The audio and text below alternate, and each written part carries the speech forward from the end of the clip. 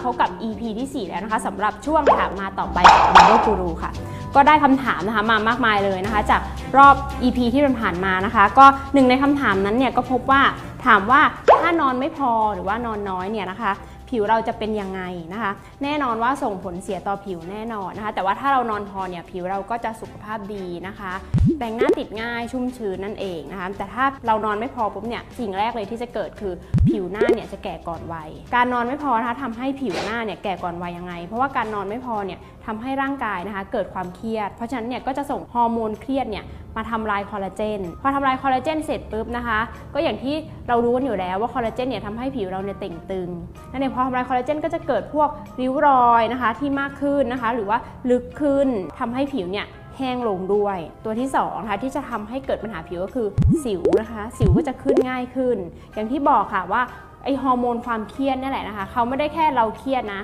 ถ้าเราสมมตินอนน้อยปุ๊บจากเราเคยนอน8นะคะเหลือนอน 4 เนี่ยร่างกายเราไม่ชินเกิดความเครียดฮอร์โมนนี้เนี่ยก็จะมาทำให้ผิวเราเนี่ยไม่แข็งแรงนะคะพอผิวไม่แข็งแรงเนี่ยก็จะเกิดสิวได้ง่าย ต่อมานะคะก็คือผิวเราเนี่ยจะอ่อนแอลง อาจจะแพ้ง่ายขึ้น ระคายเคืองง่ายขึ้นนะคะ เพราะว่าสิ่งที่สำคัญเลยเนี่ยที่ทำให้ผิวเราเนี่ยสวยก็คือตัวสกินแบรีเออร์หรือกำแพงผิวของเรานั่นเอง พอกำแพงผิวของเราเนี่ยถ้าเรานอนเพียงพอเนี่ยเขาเนี่ยก็จะทำหน้าที่ของเขาฟื้นฟูผิวเราเนี่ย ได้อย่างเต็มประสิทธิภาพ แต่ถ้าเรานอนน้อยเนี่ยเขาก็จะทำหน้าที่เนี่ยได้ไม่เต็มประสิทธิภาพ เพราะฉะนั้นเนี่ยก็ทำให้ผิวเนี่ยอ่อนแอลงนะคะ แล้วก็ป้องกันสิ่งพวกแบคทีเรียนะคะ หรือมลภาวะภายนอกเนี่ยได้ไม่ดีทำให้ผิวเราเนี่ยอาจจะแพ้ง่ายหรือระคายเคืองง่ายได้ด้วย การแต่งหน้านะคะ ต่อมาข้อนี้สำคัญมากสำหรับสาวๆนะคะ แต่งหน้าเนี่ยก็คือแต่งหน้าไม่ค่อยติดนะคะ เพราะว่าหน้าเนี่ยขาดความชุ่มชื้นนะคะ ก็คือจะไม่มีอะไรดูดพวกเครื่องสำอางนั่นเอง เพราะว่าพอหน้าเรา ขาดความชุ่มชื้นแล้วเนี่ยนะคะ เพราะว่าร่างกายเราเนี่ยนะคะ ตอนกลางคืนเนี่ยจะสูญเสียน้ำมากกว่า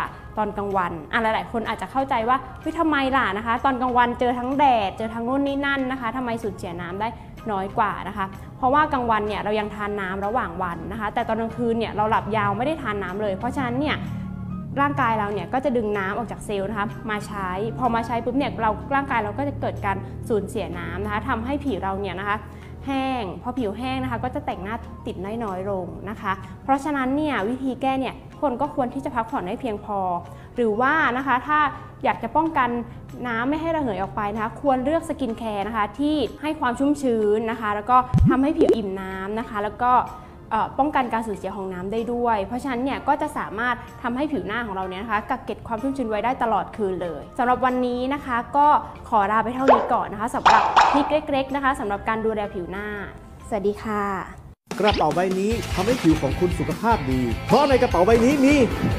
อะมาโดกาเน่ซีกลูต้าเม็ดฟูช่วยให้ผิวกระจ่างใส วันละเม็ดก่อนอาหารอะมาโดกาเน่ซี4กล่อง ในราคา 3,400 บาทอะมาโดซิลิจิ ลดสิวผิวแข็งแรง วันละ 1-2 เม็ดก่อนรับประทานอาหารครึ่งชั่วโมงอะมาโดซิลิจิ3 ขวด ในราคา